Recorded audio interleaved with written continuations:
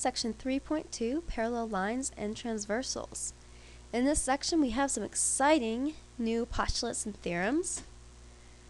So in here we're going to look at two parallel lines cut by a transversal. Thus we'll have L and M such that L is parallel to M and these lines are going to be cut by transversal T. Our postulate for this section is the corresponding angles postulate.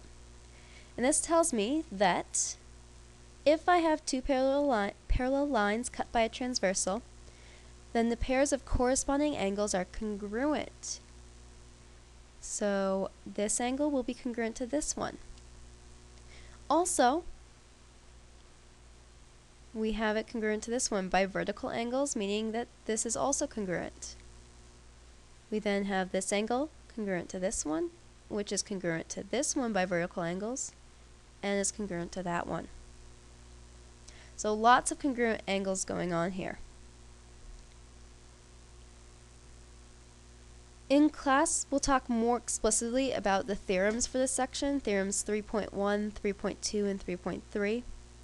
But what these theorems and what the postulate we just learned tells us is outlined in the table on your screen. That if we have two parallel lines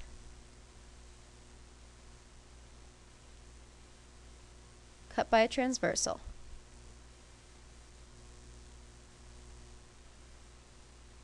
First of all, corresponding angles are congruent. We know that by postulate 15. Then, we also know that alternate interior angles are congruent. This means that alternate exterior angles are also congruent. And finally, consecutive interior angles are, are supplementary. So the measure of angle 1 plus the measure of angle 2 in this diagram equals 180 degrees.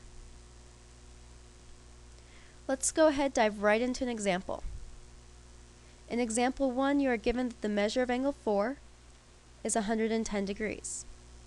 Using this knowledge and the parallel lines as indicated in your diagram, find all the other angle measures.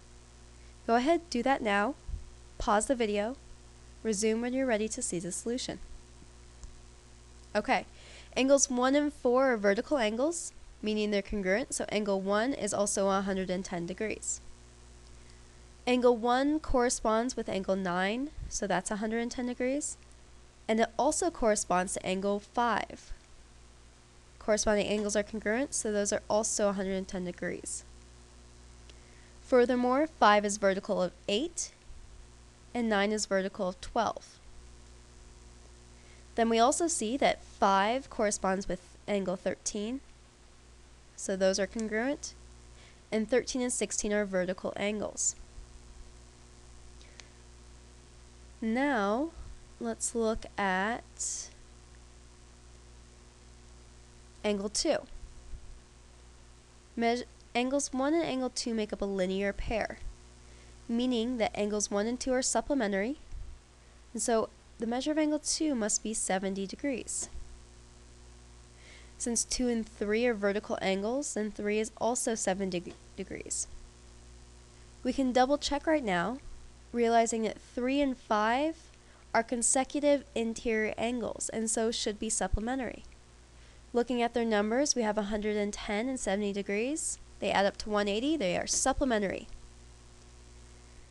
We see that 3 corresponds with 7, and 7 is vertical of 6. Also, 6 corresponds with 14, 7 corresponds with 15, and 14 and 15 are vertical, so they should be congruent. Lastly, 2 corresponds with 10, which is vertical of 11. Hopefully you got all those right. If so, feel free to move on to example 2. In example 2, we want to find the values of x and y. This one's a little trickier, so take your time, and when you're ready to see the solution, go on to the next video.